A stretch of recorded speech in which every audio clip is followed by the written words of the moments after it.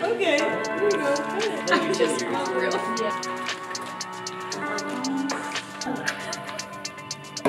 This is Dr. Hernandez. Uh, she's my advisor for Christian Missions. Um, and she always teaches us how to walk the walk, um, and she leads by example.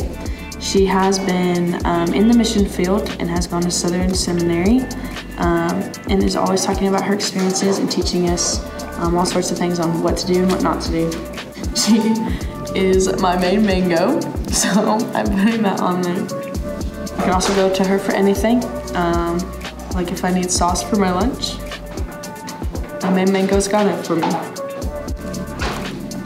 And she has traveled a lot in her days, and so traveling always makes me think of her and all the places that she's been and all the places that she wants to continue to go to, um, and encourages us to travel the world as well.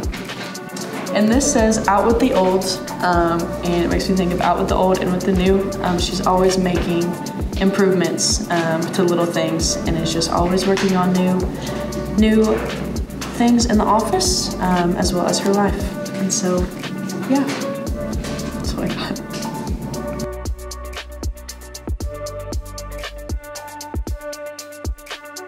My favorite professor is Dr. Gower. He is an English professor at CU.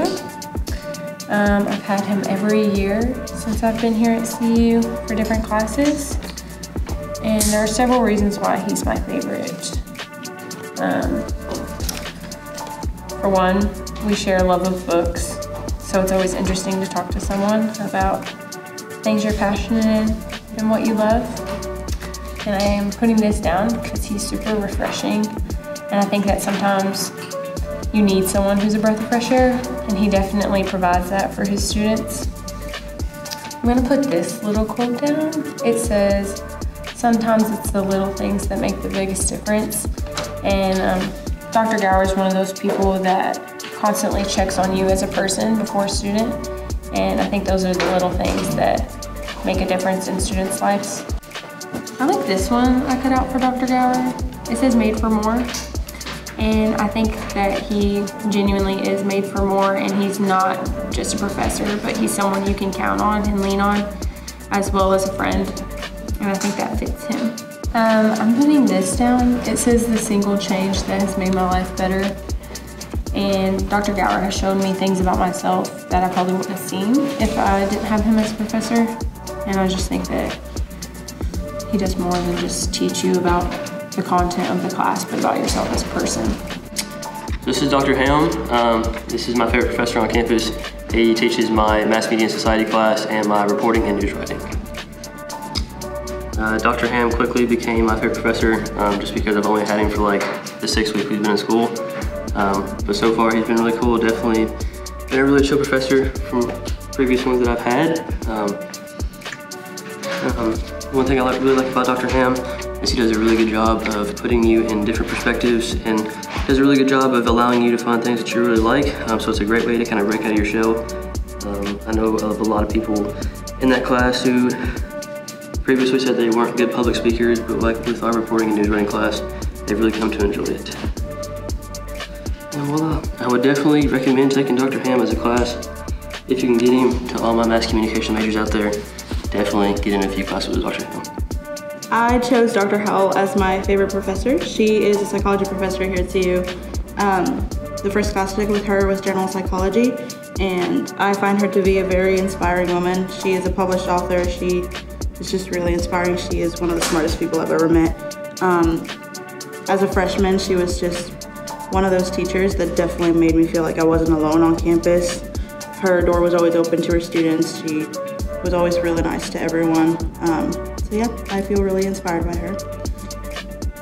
And that's why I'm putting, she will inspire you because if you come across her, she probably will. I put in, I'm putting in some sunflowers because I think that she has a very lively personality.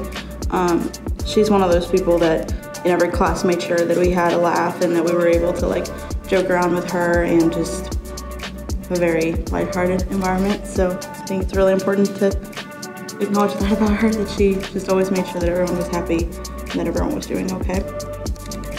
I cut this out. It says loves you back because she's one of those people that would constantly like, even to like international students in the class. I'm an international student, and she would always say like, if you like are alone for the holidays, like you can always like join me in my family. Like she just always showed you that you were loved, and I think that's a really special quality that she has. This says magic, no. Science, yes. Because she's always talking about how people don't really understand that psychology is science, and that upsets her, so I wanted to include that. And the last thing I did is this sign that says a special thanks for all the good stuff because not only did she have the best stories to tell and like the best things to teach, but she just had a lot of good things to bring to the class and to every conversation that you had with her. And yeah, I can't think of a single bad thing. And yeah, it's all good stuff Dr. Howell. So that's it. Um, I picked Professor Pickens. He is my Elements of Design professor and my art history professor. And he is my favorite professor for a lot of reasons. Um, the first thing that I picked is this outdoor scene because we do a lot of stuff in the art studio and it has just a bunch of windows we can enjoy outside. And I picked the mushroom because he's just a fun guy. and then I picked um, Extraordinary, and this one says Relief because he's just a lot different than any other professors that I've ever had. And it's just refreshing um, taking his class because he's super laid back and easy to.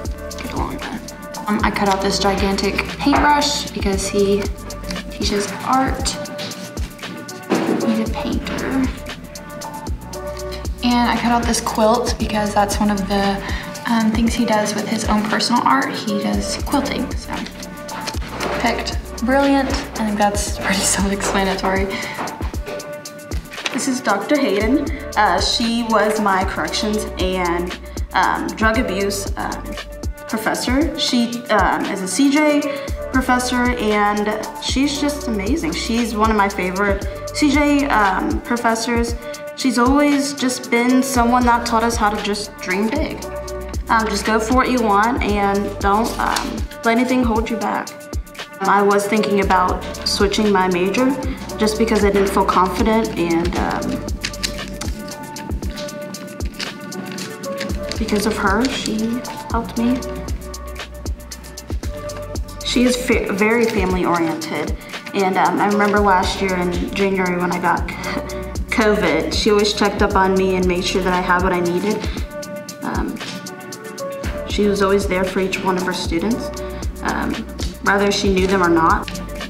She always challenged us and um, I very much appreciate that because she's helped me get out, get out of my comfort zone and challenging um, us is something that I appreciate.